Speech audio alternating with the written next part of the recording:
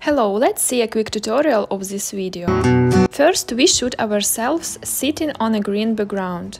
Then we shoot the main video. Open the application and download the main video. Press PIP and download the video on a green background. I need uh, to crop my video. We select the Smart Cutout function and press the chroma key.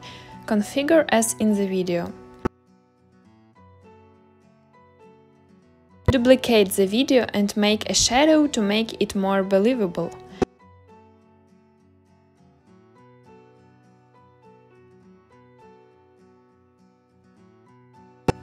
We place ourselves on the screen and that's it, the video is ready.